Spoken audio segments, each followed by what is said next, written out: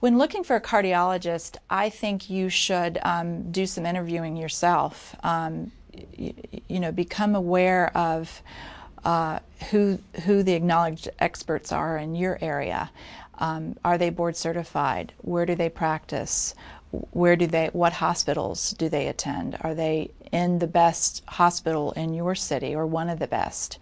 Uh, talk to them about their research interest, their particular area of focus in the field of cardiology and then notice how they respond to you. Are they dismissive? Do they answer your questions? Do they seem to welcome your questions? Now, for me, that's not always the most important thing. What's most important to me is their um, personal level of expertise. But you do like to work with someone who is, um, you know, patient focused and concerned for your well being.